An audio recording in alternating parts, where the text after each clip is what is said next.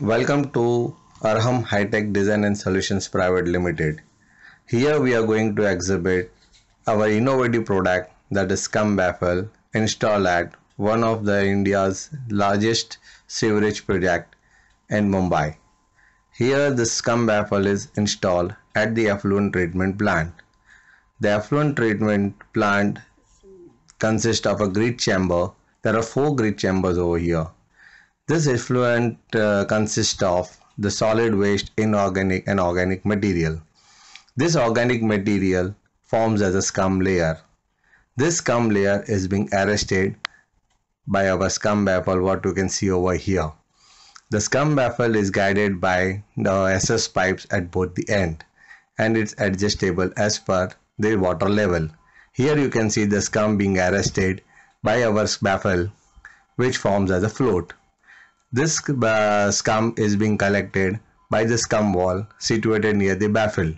Thus, the unpolluted water free from all this goes into the sea, thus saving the life of living organism.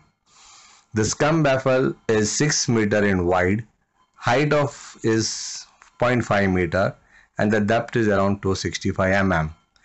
It is constructed with steel and encapsulated with FRP. The weight of this baffle is around 0.5 ton. This was an innovative product of Arham which is being acknowledged by the consultant Binnie partner, the user MCGM and the contractor Mrs. Gammon India Limited. The article of this has also appeared in the international magazine that is Reinforced Plastics from UK. Also, it has been appeared in the local magazine that is FRP Today, published from Chennai.